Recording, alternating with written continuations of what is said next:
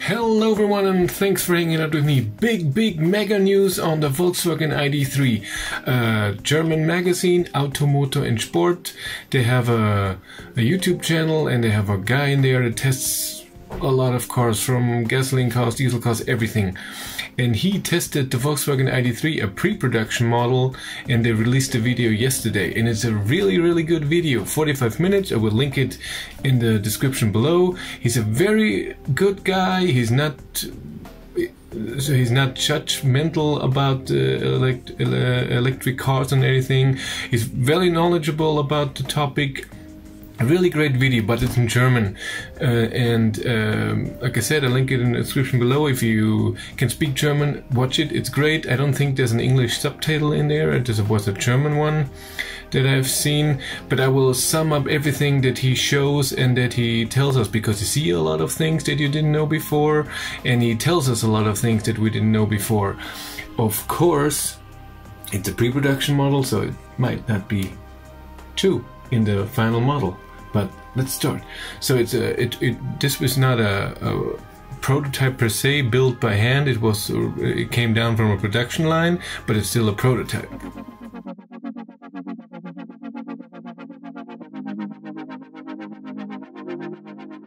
So what we can see uh, when he opens the driver's door is electric seats, everything that you need. You can see in the door uh, electric windows, electric adjustment for the mirrors. You can see uh, a handle to adjust the steering wheel and you can see a bit uh, the, the instrument cluster is not very big so uh, I, I think it, it could be the one that was in the Seat el-Born.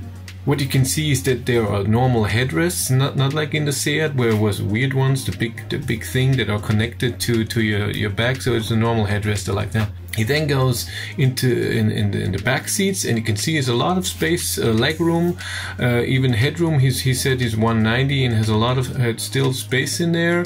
You can see electric windows in the back. Um, you can see that there's nothing in in between the seats on the bottom, so so no hump or anything. And there was something uh, was hidden. There was was a blanket over. So I don't know if these are air vents or there's a 12 volt outlet or there's USB USB, uh, I don't know. In the trunk, you can see an extra little uh, things underneath.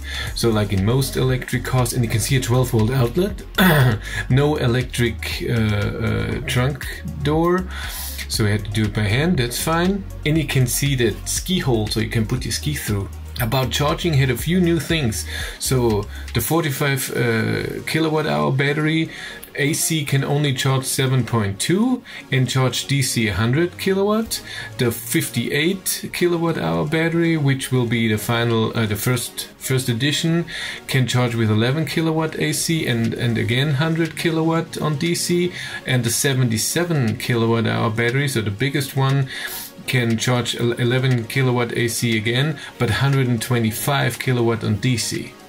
They told him 260 km of WLTP range can be charged in 30 minutes. About the driving, he couldn't do any cornering, but he said that the power is okay, the and everything will go in detail in a second. Top speed is 160 kilometers an hour, and uh, 0 to 100 should be under 8 seconds, but no exact number. It's a 150 kilowatt motor, rear wheel drive, 310 newton meters of torque, but only for 30 seconds. Then it, uh, the power goes down a bit. So like in the in the Audi e-tron where you have that boost, it comes comes back down. He says it's very quiet in there and it's a very quiet motor because it's in the back, rear wheel drive, and it's a permanent magnet synchro motor and it spins up to 16,000 RPM. When he was driving, you can see the, the brake lights and the, the LED lights, and you can see that the signal lights is the animated one like Audi has when he shows just the battery and the motor and everything, you can see that there, and he, he, talks about it, that there are disc brakes in the front, but drum brakes in the back. Because of the region, they think that the drum brakes will be enough uh, brake force, and the front ones are more important. You can see that the gear change is being done on the steering wheel, like in Tesla, and it looks a bit like like the um, the, the the i3 from BMW stick. And and there's like in the e-Golf, you have the gear D for no uh, regen and B for strong regen. and the regen is is set to 0.2 G's of braking. Uh, they said that the Audi e-tron, for example, 0.3. It's not that strong. It, it, it's a good regen, he said, but it's not amazingly strong because they couldn't do that when they brake uh, the rear wheel, the, the, the wheels in the back, because then it can be unstable if the, the, the regen would be too strong.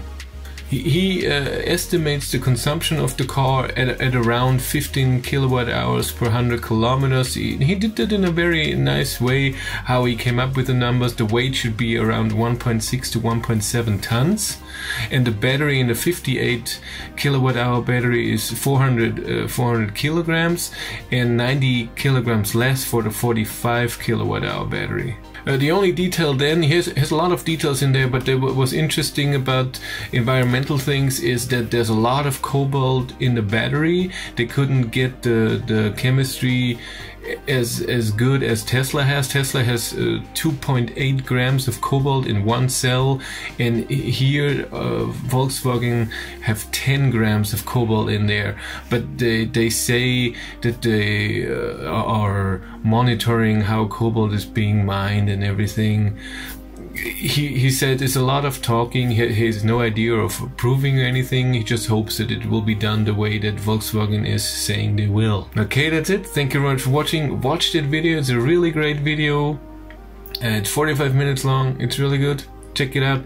Thank you much. Have a great day. Bye.